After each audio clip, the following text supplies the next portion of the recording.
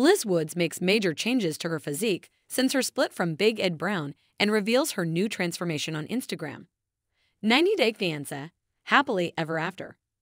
Star Liz Woods has achieved her goal weight and is showing off her makeover in a new video. Liz became a well known face on reality TV by dating the notorious Big Ed Brown on The Single Life. Liz and Big Ed's relationship was never meant to last, but they tried to get married in August 2023, despite over a dozen breakups.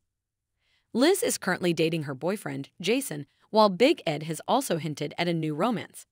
However, Liz's transformation is unmissable. She has changed a lot.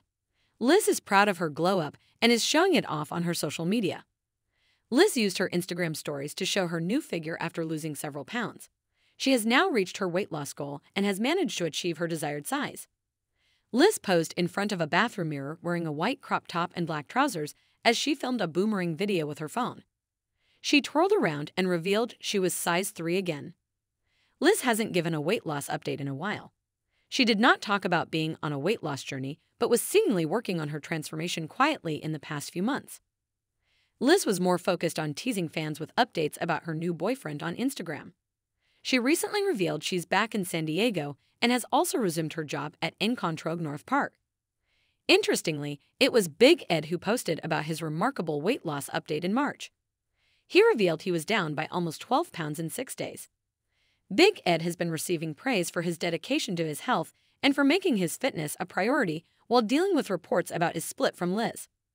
While Big Ed is not dishing out details on the breakup, he has been talking about his upcoming Thailand trip and how he wants to reach his goal weight before he finds himself frolicking on the beaches of Phuket in November.